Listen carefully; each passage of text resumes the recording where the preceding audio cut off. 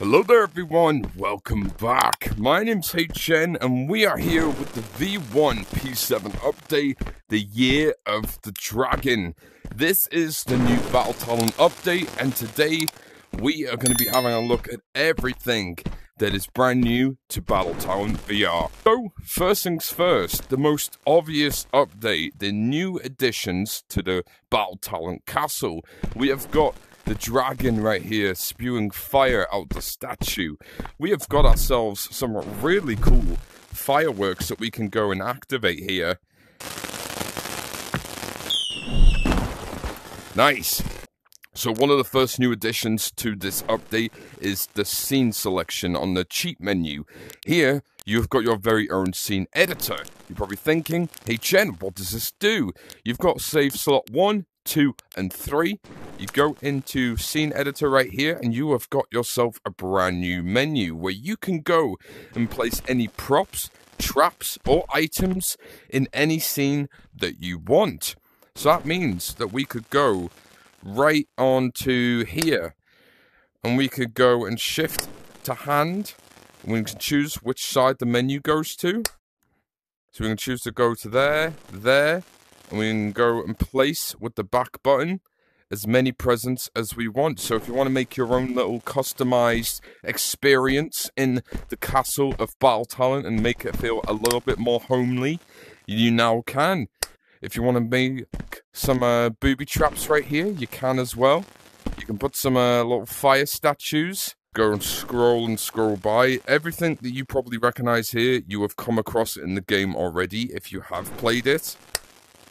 And you can go and add really, really cool amount of things. Just like that. And you go close the menu and it's all there, saved. And if you want to get rid of it, you just open up the menu again in the cheat menu and you clear. And there you go. It clears. Not to mention, these features are also available in the mixed reality mode. So if you want to play Battle Talent in mixed reality, you can give your Battle Talent journey endless possibilities. As now, for the most exciting part, the brand new two new additions of weapons to Battle Talent. So, first things first, we have got the spell gun right here. You can load telekinesis, thunderbolt, earth, ice, wind, fireball spells to shoot corresponding spell bullets, load up five spells at once and press AX to switch between. So this is what the gun looks like. Very, very sleek and cool design. Really fits with the game. Looks so freaking awesome.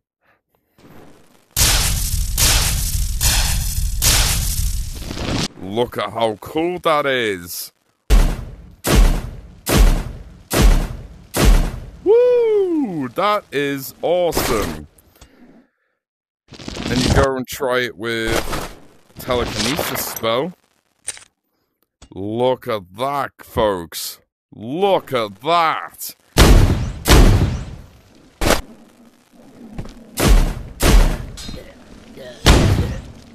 Whoa! Next, we've got the Bloodthirsty Scimitar. Enemies cut by this blade will bleed for a period of time.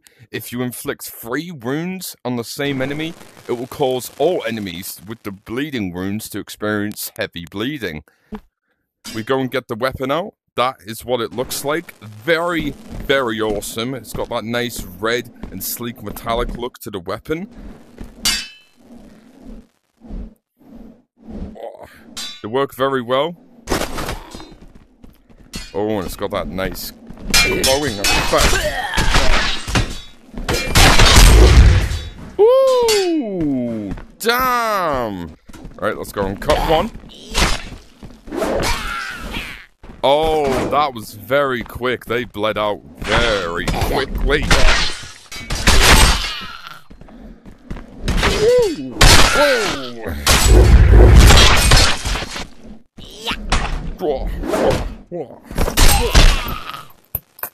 Shit. And last but not least, they have made a brand new transition from when you go to the church to the desert area. And in addition to that, we have also got new appearances for the Wraith and some commonly used presets in the modifier to make it easier to meet your needs.